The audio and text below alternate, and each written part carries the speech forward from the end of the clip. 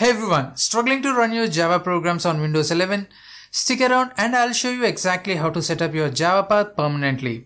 If you want to run your Java program smoothly, this is a must-do step. Whether you are a beginner or an experienced coder, setting up the Java path on Windows 11 can be a little bit tricky.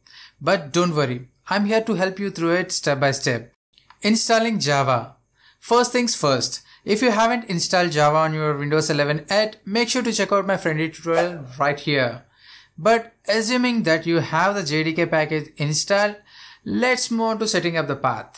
Search for environment variables. Go ahead and search for environment variables in your Windows search bar and open it.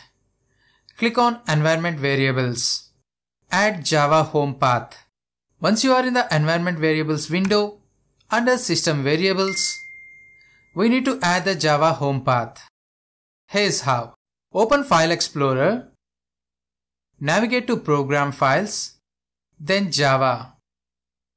Open the JDK folder followed by the version number. Mine is 22. Copy the path of this folder. Create java underscore home variable.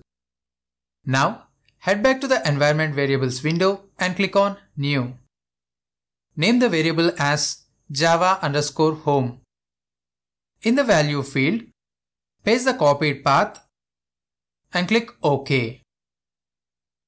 Edit path variable. Next, find the path variable and click on Edit. Click New and type percentile java underscore percentile backslash bin. Click OK to save and close everything. Demo program. Now let's run a simple Java program to make sure everything is set up correctly. And there you have it. Your Java path is now set up permanently on Windows 11. If this tutorial helped you, don't forget to like, subscribe and hit that bell icon for more coding tips and tutorials. Also consider joining our YouTube membership for exclusive content and perks. Thanks for watching and happy coding.